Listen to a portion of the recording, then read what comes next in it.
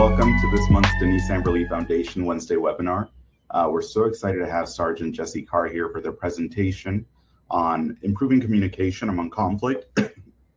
uh, following the webinar, we're going to send out the certificate and the link for the replay. Um, and we'll also be uploading the webinar to YouTube uh, for easy access.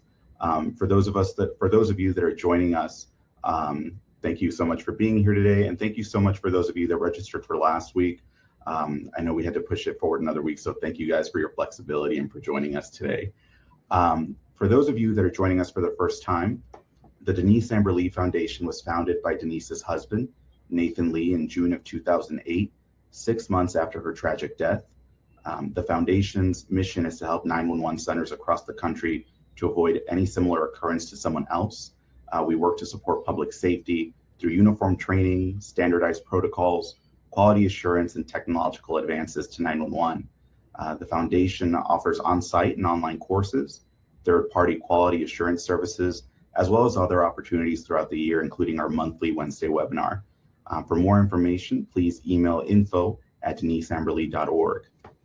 So today's speaker, uh, Sergeant Carr, serves as a sergeant for the Southern Methodist University Police Department in Dallas, and he's also a sergeant in the United States Marine Corps Reserve.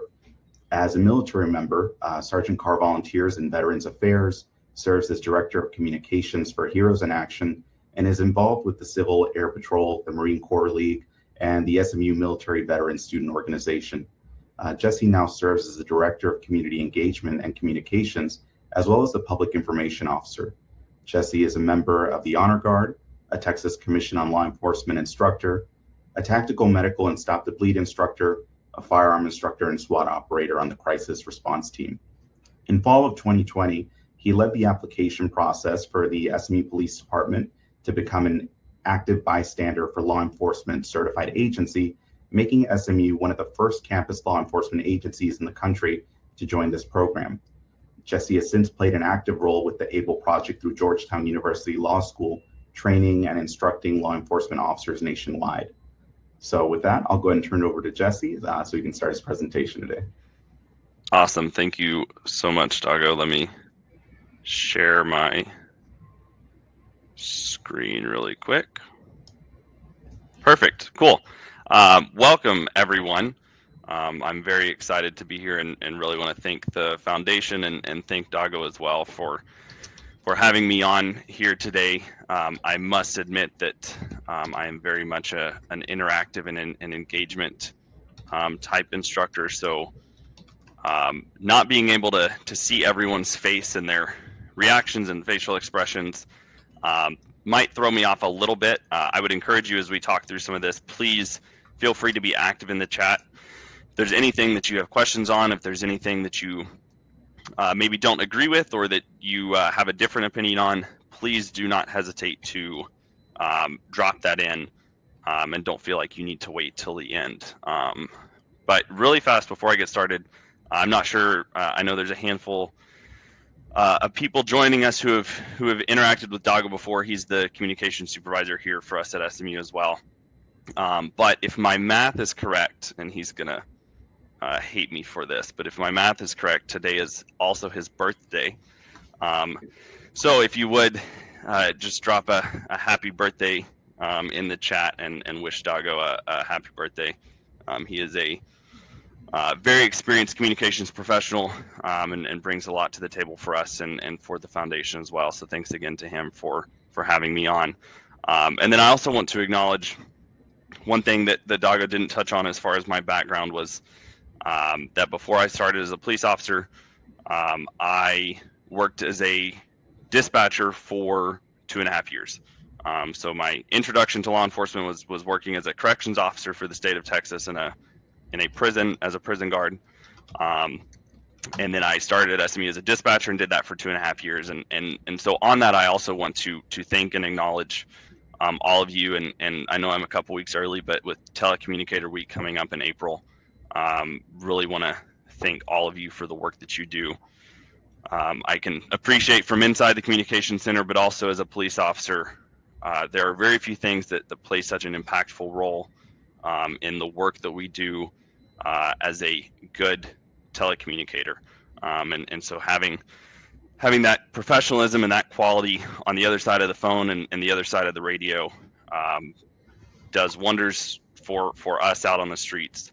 Um, and uh, I, I, don't think that telecommunicators get get thanked enough. So that being said, now that um, I have that out of the way, we're going to kind of get into it. Like I said, please feel free to be active in the chat. I'm going to try to monitor it. Um, I know Dago's going to as well, and and we'll interject if there's anything that I miss. Um, some of this is is going to be a little uh, a little broad. I'm going to try to cover as much as I can in about 30 minutes or so. Um, just know that this is kind of the the icing on the cake, so to speak. Um, typically, when we teach this, uh, and I've been teaching this topic specifically for um, just under three years for for law enforcement, um, any anywhere from professional staff to to police officers. Um, typically, this is an, an eight hour uh, class, so we're going to get a brief snippet, and hopefully, you'll see that there's some stuff in there that you can take back and apply um, within your communication center, um, but also um, you know maybe see some things. Hey, I need to look more into this, and I will make sure that I drop my email into the chat. Uh, actually, I'll do that right now. Um, that way, if you have any questions um, or anything uh, that you'd like more information on, please do not hesitate to uh, to reach out to me, um, and and I will do what I can to assist you. So, uh, we're going to talk a little bit about active bystandership and peer intervention in the workplace and what that looks like. Dago pretty much already covered um, who I am um, and and all that fun stuff. So, as any of you that work for smaller agencies know that typically uh, you know you you wear four to five sometimes six or, or more hats.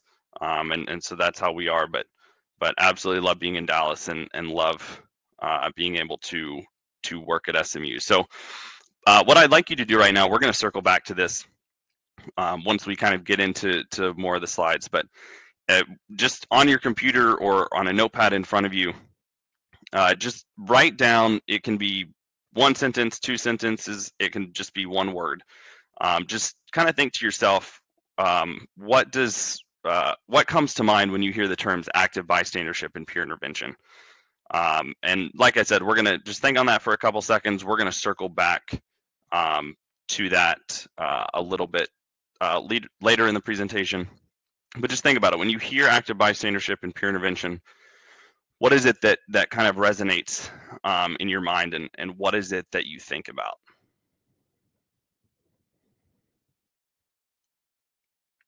Okay, so some of our, our learning objectives and, and some of the things I'm going to touch on today is we're going to definitely going to define what active bystandership and, and peer intervention is. Um, we're going to briefly discuss social science related to active bystandership and peer intervention. Um, typically, when we do this, we talk about four, four to five main social science experiments. Um, today, I'm just going to talk through one. I will tell you if that's something that fascinates you, um, let me know if you want more information on that or or spend some time just utilizing Google and looking into that. It, it it's incredibly fascinating the insight that it gives us into human behavior, um, and it is very eye opening. It was one of the more interesting and exciting things that I uh, learned about as I went through this training myself um, in order to to become a, an instructor and and to teach this back. Um, then we're going to identify some of the inhibitors um, and talk about what are some of the things that that normally get in the way of meaning why don't we we say things when we see something going wrong or, or why don't we step in or or enlist allies to to stop some sort of harm from occurring and then most importantly we're going to talk through a, a handful of um, methods and skill sets to uh, intervene in a situation um, i know one thing that was eye-opening for me when we started doing this is that our agency had a duty to intervene policy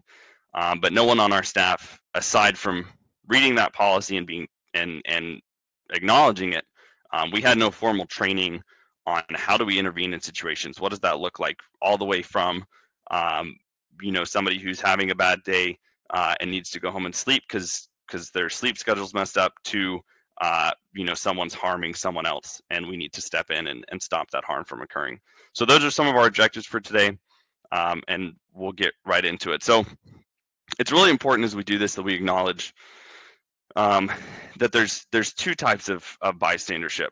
Uh, one thing that that was eye opening to me as I started to learn about this topic and, and understand it is I had I, I realized that I'd spent a lot of my life um, thinking that there was some sort of kind of middle area, right? There was an area that I could exist in where if I wasn't directly involved or if I wasn't directly impacted by what was happening, I could kind of turn away. I could I could take advantage of tunnel vision um, and not really have to acknowledge what was going on. But one of the first things that we have to do um, is that we have to recognize that there's only two types of bystandership. Okay, um, there's there's passive and there, and there's active, right? And so passive bystanders fail to intervene or discourage intervention by modeling passivity. Okay, and it's important that we that we start to really think about this and understand this because um, of what that communicates, right? And so we see here a failure to act can communicate acceptance or even support for the misconduct, thus turning passive bystanders into complicit bystanders. Um, and to me, that was really impactful because I started to realize, okay, hey, uh, if I'm not directly taking action to prevent harm that's occurring, I'm complicit in that.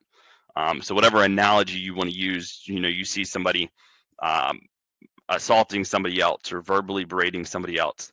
Um, what we learn through some of the social science and with human behavior is if I'm not taking action to stop that harm from occurring, I'm complicit in that, even to the extent that I might as well step in and uh, uh, carry out that harm with that other person. All right, um, and and then looking and identifying what is what is an active bystander um, active bystanders step forward, speak up, and take action. And and as we learn through this social science and some of these other things, um, through their actions, active bystanders can encourage others to intervene. And you probably hear me uh, sound like a broken record with this today. Um, one thing that's really important for us to keep in mind is with that and with this is that action will breed action, and inaction will breed inaction. And we're going to talk about some specific terms that are important to that um, diffusion of responsibility, pluralistic ignorance uh, being a couple of them, um, and, and really uh, why those things are so important, um, and, and, understanding that what we do matters um, and the action that we take uh, will empower other people. And, and on the same hand, the, the lack of action, um, inaction will breed inaction. So, like I said, we've identified the the passive and and active uh, bystander roles, and one of the big concepts here and, and key takeaways um, is really understanding this idea that there's no such thing as a neutral bystander. You're either helping or causing additional harm. All right, so there's there's no um, easy way. There, there's no middle ground for us to exist in. We are either uh, actively involved um, in in helping stop um, or we're we're causing additional harm.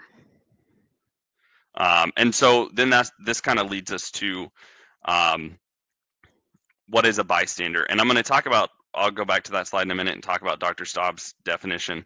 Um, Dr. Ervin Staub is a uh, psychologist and social scientist who we draw some of our studies from, and, and he gives that definition and so now I just kind of want to circle back to maybe some of the things that you jotted down if if you're comfortable dropping any of those in the chat as far as from the beginning when you hear active bystandership and peer intervention um, what is it that you first think of what is what is the first thing that comes to mind um, when you hear those terms so if you are comfortable sharing and you, and you wrote those down um, go ahead and drop uh, one of them um, in the chat uh, and uh, we can kind of talk about that for a second. I'm going to get some water really quick.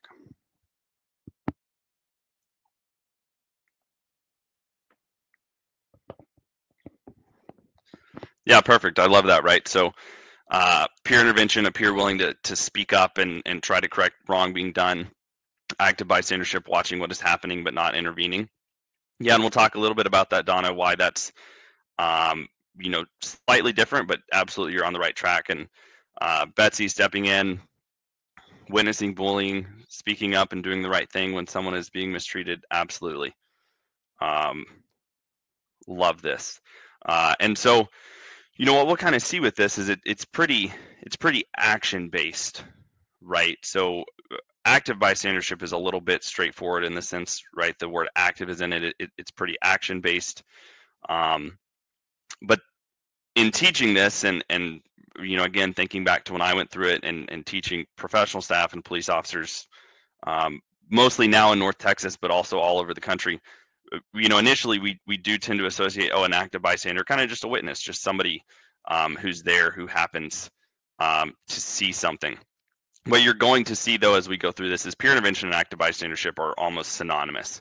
Uh, they they essentially um, mean the same thing. So let's look at Dr. Staub's definition um, and see what he says. And, and the way he defines a bystander is a witness who is in a position to know that there is a need for positive action um, and is in a position to take some form of action. Okay, and and I think what's part of what, what's important with this definition is also, you know, again, we've already identified there's two types of bystanders, right? There's active and passive bystanders, um, and so one of the key components with this active bystander peer intervention um, is that uh, there there's someone who is in a position to know that there's a need for positive action, and then they're in a position to take that action. And my challenge would be um, to all of you is that we are always in a position to take action, uh, but sometimes that action is going to look different, right? Sometimes that action uh, might mean that we're directly intervening in a situation. Other times that might mean that we're enlisting allies. Um, maybe it doesn't mean that we directly intervene, but we call someone else um, and enlist them as an ally to intervene. But towards the end, like I said, we're going to talk about some specific ways um, that we can do that to really to really kind of highlight for us and and give us something tangible um, to take away from this. So I want to take a minute right now to kind of talk through some of the social science. Um, like I said, it's it's very uh, it's very fascinating. One of the most interesting things about this is um, this is not these studies were not conducted on law enforcement professionals or police officers.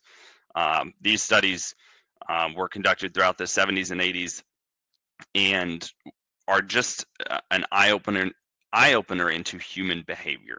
Okay, um, so it, it really shows us, hey, what do human beings do in certain situations? And I think um, no one knows better than uh, people that work in law enforcement uh, that, shockingly enough, most oftentimes people don't uh, do what we might think they would do, and they also don't always do the right thing. Um, and this level of moral courage that that is required for active bystandership is is hard, and it's really a challenge. Um, if it's not something that we train to and that we talk about and that we uh, work towards, um, which is totally fine, but we just have to acknowledge, hey, this is something we have to practice um, and train on and and have conversations about because we're not going to randomly wake up one day on our own and just magically do it. All right, so the one um, social science experiment that I'd like to talk about today is uh, really shed some light on a couple terms for us. And then I'm going to highlight some some of the other key components from the other ones as well. So just to kind of give you this setup, you can see it on the screen. Um, but the way that they'd set this up, they're they're studying subjects uh, and and they bring them in. Um, and the idea is is that they're they're the subjects they're studying are university students in a major city um, and they're bringing them in to have conversation with other university students to talk about university life. Um, and the way that that works is they get brought in. You can kind of see this. This picture gives you an idea. They there's a hallway with different rooms, um, and there's one subject in each room. Um, and then what they're doing is they're having a conversation via an intercom with someone else. Um, and the way the intercom works, there's some timing where it would open and you could talk for 30 seconds, then the mic would close, and then the other person would talk for a certain amount of time. Um, and very scripted, um, right? So they're they're studying um, one subject uh, in that first setup. It, it, it's all very scripted, so everybody's getting the same um, exposure. And during the course of that dialogue, the person that the subject is speaking to, who's an actor, um, has what sounds like a seizure, something along the lines of a medical emergency. So they're really looking at, hey, how do people um, respond and react, and and what percentage of people uh, are going to take some form of action. Um, so they they studied this um, with three setups, basically three conditions. So in the first one, there's there's two students, but in reality, there's only one right? So you have the one who's the actor who's pretending to have the seizure medical emergency. And then you have the second one who's the subject. And there's just those two involved. So the one who's the subject knows um, in that moment that it's just them and the person that they're talking to. Um, and then as they go through that, they hear them having what sounds like a seizure. Um, and, and that's the first setup for the study. And then the second one, uh, they increase the number, right? So we're looking at does the size of a group impact whether or not people are going to take action, right? That, that's one of the main takeaways with this. So there's three students, one's the actor, then there's two others um, that are subjects, and they know that there's there's three total people involved. And then for the third one, they they did the same thing. They upped it again, right? So there's six students, um, and uh, the the subject that's being studied. Then there's the actor, and then there's four other actors playing the role of role of students. And so it, it's really playing on this idea of if we interject more people into a situation, how is that going to impact whether or not people take action? Okay, so we're going to make this as as interactive as we can, um, and so uh, and and we're going to talk about what the subject thinks in in each scenario. So. Um, if you would, we're going to use percentages. Okay, so um, in the first one, uh, the subject thinks that no one else can hear the seizure, right? It's the first setup the subject knows that there's only two of them the person themselves and then the person they're talking to. If you would just go ahead and drop in the chat what percentage you think of those people when they hear the seizure happen did something to try and help that person. So mind you they're not in the same room right? So doing something they either got up and left the room to find um, one of the uh, researchers or they they took some sort of action to try to find uh, help for that person, right? So so Brian says 85%. Um, yeah, 75%. Okay, so we're all pretty high. I love it. Amber uh, says 25%. She's a cynic. Well, you're not wrong. One of the things that um, uh, I, I talk about when we go through all four of these, if there's anything that will just, not that uh, we as policing professionals need anything to ruin our faith in humanity even more.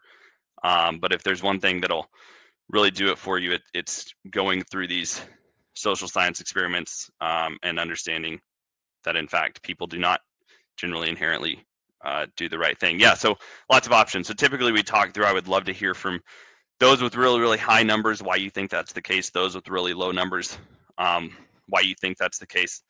Um, so let's see, for the first one, no one else could hear the seizure. What number do we have? Brian, uh, if I had something to give you, I absolutely would. You were the you were the first right answer. Um, 85% acted.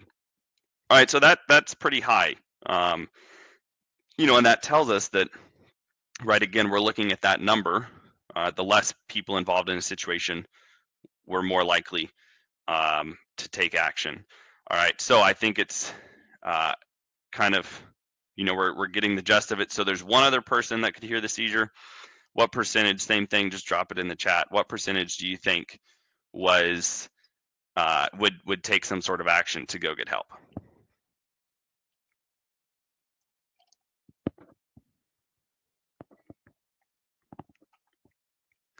And I think we could all imagine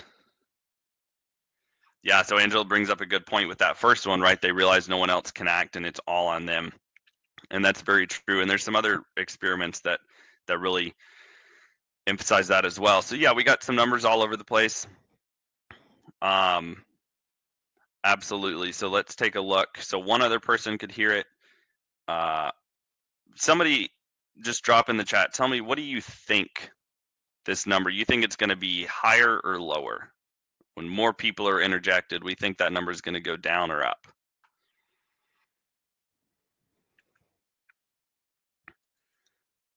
I'm seeing a lot kind of all over the place. So, yeah, Pam is right. All right, so one other person could hear the seizure. 62% acted. Yeah, everybody. Yeah, right on, right on point. Lots of, lots of uh, lower than that. So, again, that same trend that we're seeing, right? The more people introduced into a situation, um, people are less likely to act. yeah, Deborah, everyone will be pulling out cell phones to take pictures and video. Uh, absolutely. Brian, higher than you thought. Yeah, well, trust me, it only it only gets worse. Okay, so we have this one more setup. Four other people could hear the seizure. We already know, right? Pretty straightforward. Uh, unless someone someone really dissents and thinks that for some weird reason the number is going to be higher. Uh, 31%. Okay, so a pretty drastic drop um, in uh, people taking action to help that person with the more people that are introduced. So, really important takeaway for us in this um, is really understanding uh, it. You know, that this kind of impact that that the amount of people involved in a situation has on what people do. And, and again, right, it, it's what I mentioned before inaction breeds inaction, um, and action breeds action. And uh, absolutely right. Um, they think that someone else will, will do it or did it. Uh, the more people, Angela, you're right. The more people, the more we think someone else will act, unless there's is some sort of peer pressure. Um, absolutely, and and Brian does bring up a great point. Um, as far as uh, how many people actually stop to help, um, and and and things like that. Um, and and I, I, know that that this is stuff that that a lot of you probably know um, and are familiar with. Maybe just haven't had it identified or talked through kind of the social science aspect. But absolutely right. Um, so let's look at some of these key terms from this. You may have heard me mention mention them, and and uh, and so let's define them. So the two big ones um, are going to be diffusion of responsibility, right? And that's this idea that someone else will do that, will will do it. Okay, so yes, we see this a lot as professionals. Um, why didn't you call 911? Well, I thought somebody else did. Or, you know, why didn't you stop and help? Well, I thought someone else would do it. Or I saw one other person there, so so why would I stop? Um, but I would encourage you to think about this a little bit um, and and Julia, you're right, brings out the leaders and allows the followers to follow. Um, and I'm going to touch. I'm not going to cover it a lot, but I'm going to touch on a little bit um, with the authority hierarchy and how that plays into it and what that teaches us about social science. Um, but I would also encourage you to think about this in the workplace, um, right? So diffusion of responsibility. If you have any thoughts on this or anything that you can sum up in in two to three sentences, you know, again, feel free to drop that in the chat. Um, but but the idea that someone else will will do it, um, and and that can that diffusion of responsibility can be anything to, um, hey, I saw an interaction between a, a dispatcher and a police officer, and um, that's my supervisor's responsibility. I'm not going to say anything. I'm going to let them do that. Pam, you're right. Fill, fill the ice trays. Right. Clean up the break room. Uh, rinse out the coffee cups and put them in the um, put them in the dishwasher yeah, and, and Jennifer, you're right. People might think it's the supervisor's responsibility to intervene or someone else's. Um, and and and sometimes that's absolutely the case. Uh, but make no mistake, um, we all have a responsibility responsibility to intervene in some capacity if there is some harm occurring. Um, and I know that harm is a little bit of a of a harsh word. Um, a lot of times we think you know we might associate harm with with maybe some sort of physical harm or something like that. Um, but I'd also encourage you to think about that in uh, the context. And Susan, you're right. We're going to hit on that in just a second with with the inhibitors. Um, think about this in the context too. I mean, imagine you, uh, you know, somebody that you work with every day, um, and you can tell that something's off with them and something's going on, and you know they look really tired, or they tell you they've only slept four hours in the last 72 hours or something. Um, because there's a big health and wellness component piece of this as well uh, that we don't do great in law enforcement. We're starting to get better, but this idea of like, hey, you're not doing okay. You need to leave work, go home and sleep. Um, and and so kind of think about it in that context as well. Um, and then we have pluralistic ignorance. No one else seems to think that anything is wrong, so all must be okay. Uh, so all must be okay. kind of ties into that idea of more people in a situation. Um, what's really interesting about that is, and, and you've probably all seen this um, personally and professionally, something happens, everybody kind of looks around waiting for someone else to define that situation and and define whether or not it's good or bad. Um, and then in some cases, if no one has a negative reaction to it, we kind of just are like, well, uh, no one else said anything, so why would I be um, why would I be the only one? And some of that also plays into the authority hierarchy, right? With the, some of the other social science experiments, we know um, that authority plays authority, perceived authority plays a major role. And that's something to keep in mind from the communication center standpoint. Depending upon if you have a, a direct supervisor that works with you constantly, uh, maybe you're a trainer um, and you have that uh, authority dynamic um, between the trainee that you're instructing or, or you work in a communication center where you're um, nearby a, a, trainer and a trainee just just keep in mind that that authority um, dynamic is is real when it comes to active bystandership and peer intervention because we will look at that authority to define that situation. So if um, if you have a supervisor in that communication center with you, or if a, a lieutenant or or assistant chief or chief comes in and and something's happening, we're naturally going to look at that authority figure and wait for them to define that situation for us. Um, and and so that's a big part of this as well. Um, and then this other point, bystanders are far less likely to act when they know or think others are in a position to do so. And that really ties into both of the diffusion of responsibility and pluralistic ignorance. Um, and there's kind of a reoccurring theme here from the standpoint of, hey, if we can kind of think of an excuse to not have to step up and say anything, we're going to do that. Um, some of these other social science experiments are are absolutely fascinating um, to to some of y'all's points earlier, though, I will tell you it will just uh, make you kind of rethink your expectation for for human behavior because um, you know people will not uh, does not seem based on on those experiments that people will will uh, inherently do the right thing. And and then we just have this this quote that's kind of an example. If no one else is doing something then i should neither. that's pluralistic ignorance. Um, and i'm sure someone else will act. That's that diffusion of responsibility. So again, those are some of the key terms from from that experiment. Again, big takeaway is it tells us, right, and it shows us the more people involved in a situation, the less likely we are to act, um, or anyone is is the less likely anyone um, is to act. Um, so now let's talk about some of those inhibitors. So um, Susan hit on one. People are afraid to speak up for fear of retaliation bam, check it off the list. Uh, y'all go ahead and drop in some of the other, excuse me, things that you might think about. Um, that would be an inhibitor to why someone might not intervene uh, in a situation, right? And we're t- I'm talking anything from um, some sort of toxic work environment to something against policy to something illegal to, to something that's harmful to someone else. What are some inhibitors that would stop someone from intervening in those moments?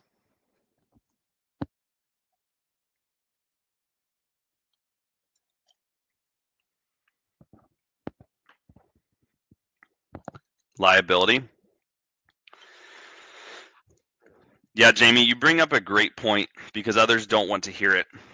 And I wish I had more time so we could talk about, um, you know, receiving interventions as well, um, because that is a big component of this. That in the in the full, like when we really talk about this in depth, we spend a lot of time on on teaching people how, teaching people how to receive those interventions so yeah, fear of retaliation, being judged. They just don't want to be involved. Absolutely, Latina. That tunnel vision, um, trying to stay in their lane, uh, absolutely a big thing. Yeah, Sherry, you bring up a really good point too. Uh, being shot down in the past. Uh, so having a prior failed intervention, and I know like this sounds kind of formal, um, but usually it's pretty informal, right? Maybe there's a time, uh, a prior time where you stepped up and said, "Hey, we can't do that. That's a violation of policy.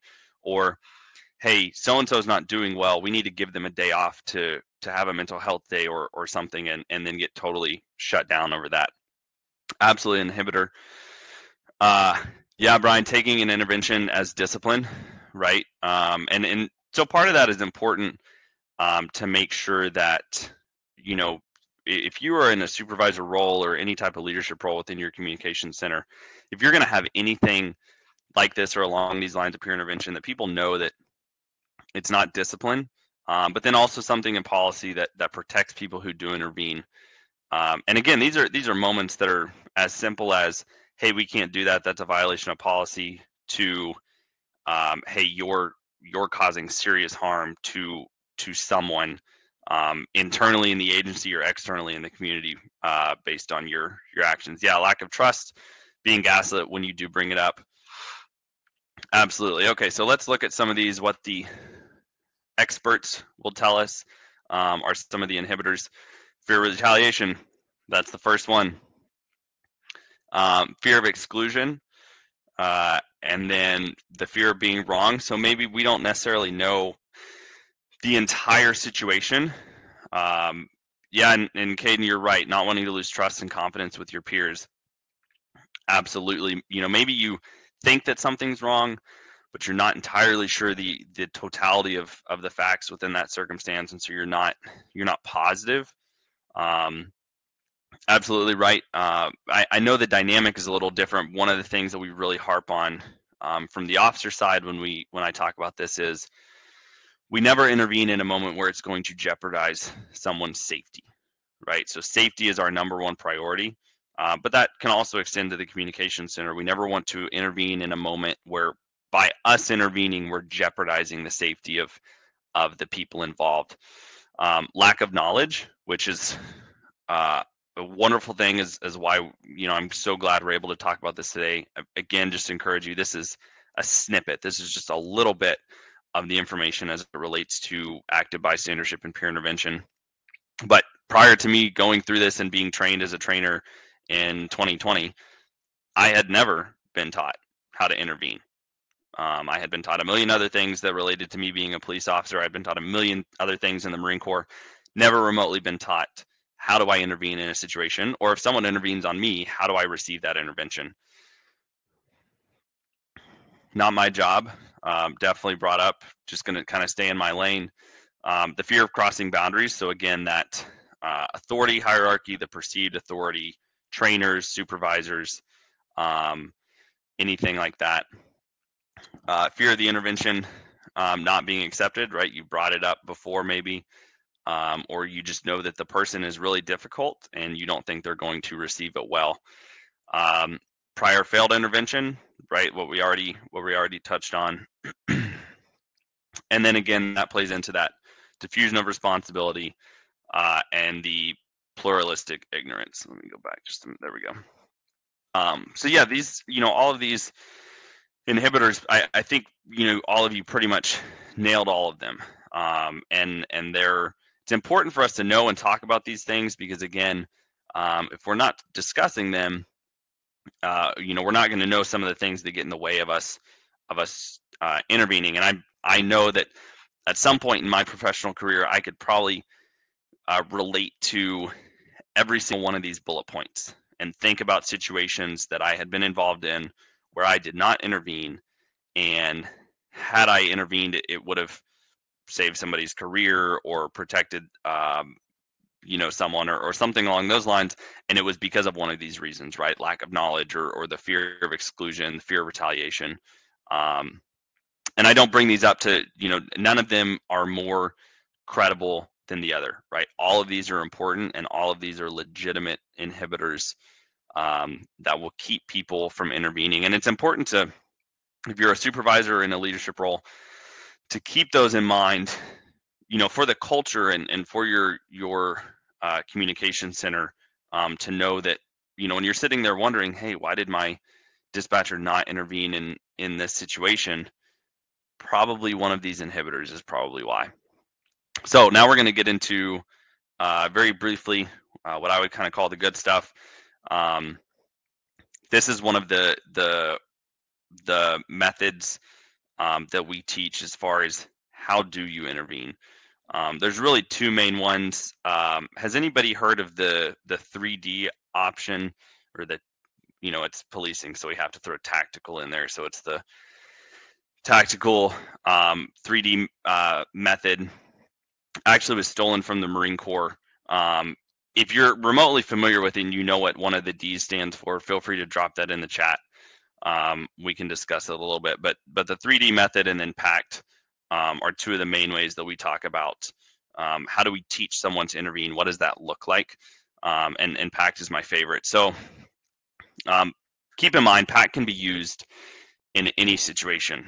Um, it's a little bit geared towards um, authority uh, and situations that involve some sort of authority dynamic or authority hierarchy.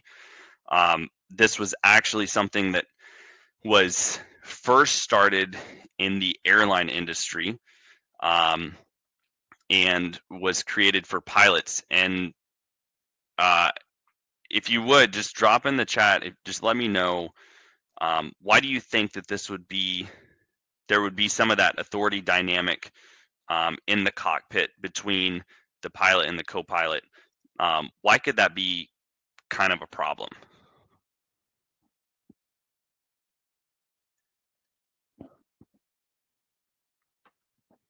And kind of what I mean by that, right? If we think about that in communications terms, you know, you have a senior dispatcher and a junior dispatcher working side by side.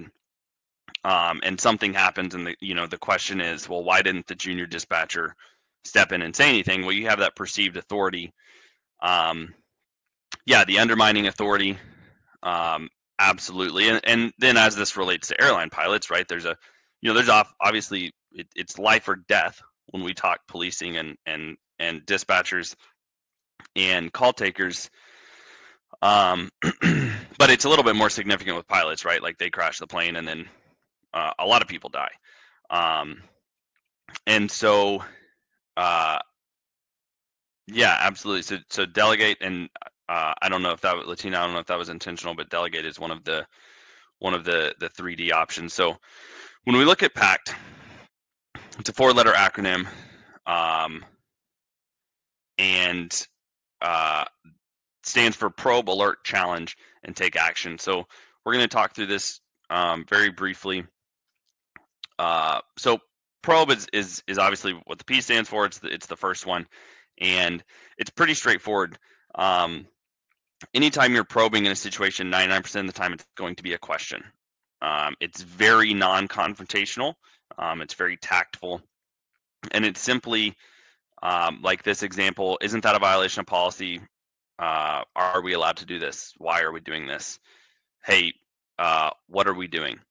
Um, always a question and very non-confrontational. Now, um, with PACT, one of the important things to remember is that this is not a one, two, three, four step process. Um, it is a all over the place matrix that whatever the situation calls for, that's the one that you jump in with. All right. So uh, the second, the A stands for alert. Um, and what this does is this identifies something that is wrong um, and and really kind of just does that right. So per policy, uh, I think, and and excuse my typo because that should say uh, we shouldn't do that. Um, I guess in some situations it it could absolutely say per policy. I think that we should do that, but uh, in this case it should say per policy. Uh, I don't think we should do that. Um, but that's really just that alert is just identifying that something is wrong. and then we get into the challenge right? And this this is when it becomes more confrontational. So we're not only identifying, um, uh, not only identifying, but we're also confronting, right? Uh, and again, that should I apologize on my on my typos. Uh, I was I work midnight, so uh, was definitely making this at at two in the morning on on very little sleep. But uh, we are not allowed to do this. You need to reevaluate your decision. Um, and so, true to, to the nature of that word, right? A, a challenge identifies and then it confronts um, what's going on. And then the last one is is to take action. Uh, and that's very straightforward and, and generally uh, provides some um, sort of clear path as to what you're going to do. So, Jesse, if you do this, I will tell someone this is not okay. Um, but like I said, what's important to remember with this is you don't have to start with probe and then go to alert and then challenge and then take take action. Um, you jump into whichever one the situation calls for, um, and and whichever one uh, you you have the time and, and the situation allows you to to utilize. Really good with authority dynamics and authority hierarchy. Um, but I think this is my favorite one for um, any situation that warrants an intervention. Um, and so if we think a little less serious for a minute, I mean, you apply this to you have a coworker whose behavior is noticeably different. Hey, what's going on? Are you okay? Is everything fine at home? Um, and and I know um, everyone here is is you know by nature of your job, you're exceptional communicators. You know, and understand the importance of open-ended questions and things like that. But don't think of this as like something super serious all the time. I mean, sometimes it's just that you notice a change in behavior and you're just probing. You're you're trying to see, you know, hey, I heard you made a comment about something's going on with your kid. Is everything okay? Uh, do you need anything? Um, and then from there, you kind of start to see, okay, do I need to escalate this some, right? Do I need to move to alert or do I need to skip alert and go straight to challenge? Um, or you probe and then based on the answer that you get, you're like, oh, holy cow, uh, I have to jump straight to, um, I need to jump straight to taking some sort of action. And so then this brings me that kind of the thing, and, and we're um, about to wrap up, um, that I really want to encourage you. And, and again, I, I, cannot emphasize enough. This is a a snippet um, as it relates to um, these kind of things in the workplace and uh, especially in, in law enforcement. But but to really encourage you to keep in mind any of these situations that we encounter where we need to intervene um, I love this graph and I, I think it captures it perfectly. Uh, right. So if you see at the bottom before event, early in the event, later in the event, and then after the event. Um, and then, uh, you know, we have harm inflicted and the difficulty of the intervention. So, you know, what this is really telling us is as that timeline on the bottom goes, the harm that's inflicted is going to increase and then the difficulty of that intervention is going to increase as well all right so they're they're increasing simultaneously um, and it, it, it's better late than never um, to intervene but the longer that we wait to intervene in situations the harder it's going to become and so you know if we think about this you know kind of practically i mean you could have something before an event as simple as hey somebody's um, had a significant personal life event. They come in, they're not really in the right state of mind, and we don't intervene. And then a couple hours later, they do something unprofessional on the phone or on the radio and uh, are being suspended or, or disciplined in some form or fashion because of that. Right. And so that intervention is getting harder. The harm that's being inflicted onto their professional career is increasing. Um, and really my point in that is again you know th- this is this covers everything right? This this this covers um, you know all, all the stuff that, that we, we think to the extreme but then also the this the more minimal stuff. Hey somebody's showing up late for work four days in a row right? Early in the event maybe before the event a little bit. Um, and we intervene to to see what's going on versus later in the event or after the event um, where they've been fired or they had something so significant going on in their personal life, um, it's more extreme than that.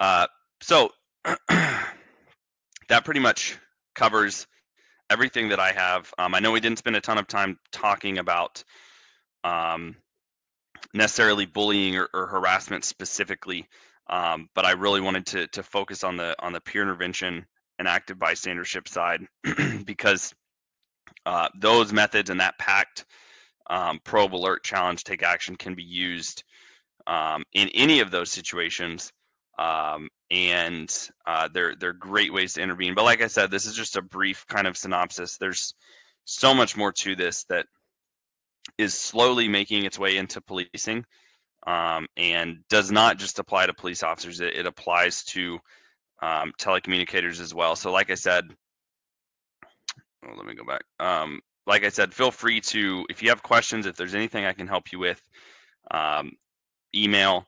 Um, obviously, you can reach out to Dago. Um, uh, and you know, happy to help in, in any way possible. That that is all I have. Um, if you have any questions, um, I'm I'm not in a rush, so I know we have a few minutes. Um, feel free to drop those into the chat.